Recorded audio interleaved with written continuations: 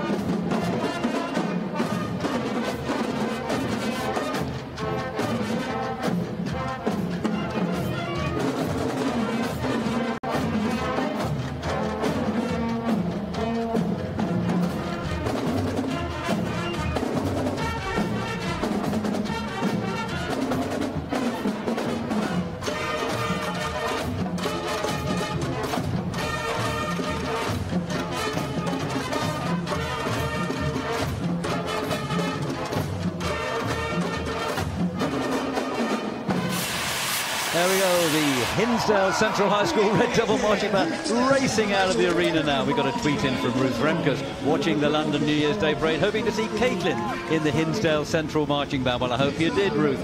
Anyway, they were a great band, weren't they? I do hope they'll be back one day under the direction of Matt Kurinsky and Matt Goka and Stephanie Goes, the Hinsdale Central High School Red Devil Marching Band from Illinois in the USA.